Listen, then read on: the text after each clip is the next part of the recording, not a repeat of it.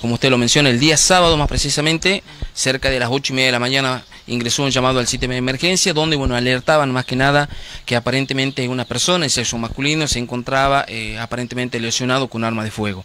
Ante esta situación se desplazaron rápidamente los recursos hacia ese lugar donde efectivamente contactaron eh, este incidente, posteriormente se solicitó la asistencia médica para, para este menor donde fue derivado hacia el Hospital Zonal de la ciudad de Tartagal, donde pese a las tareas de reanimación por parte de los eh, profesionales de la salud, se contactó el deceso del mismo. Inmediatamente se puso en conocimiento hacia la Fiscalía Penal de grave atentado contra la persona, donde comenzaron las tareas investigativas ¿no? para poder establecer los pormenores de este hecho.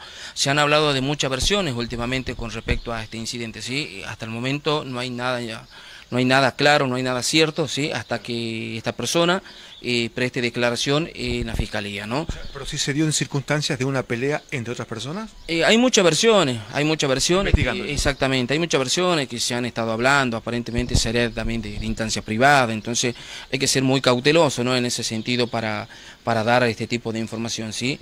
Eh, es un hecho lamentable que ha suscitado el día sábado en hora de la mañana donde eh, en hora de la madrugada del día sábado también se procedió a la detención de un joven de 20 años, el cual aparentemente estaría involucrado ¿sí? en, este hecho. Lo cierto es que todo esto lo va, lo va a dictaminar, obviamente, las investigaciones.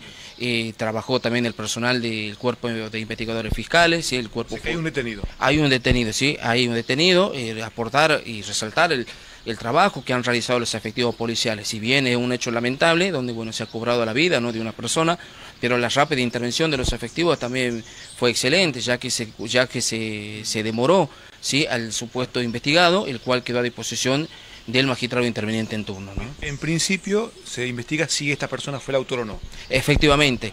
De acuerdo a las averiguaciones que se han estado realizando, bueno, y de acuerdo a, a un relevamiento de información, ¿sí? Eh, ha llevado el personal policial a la detención de esta persona.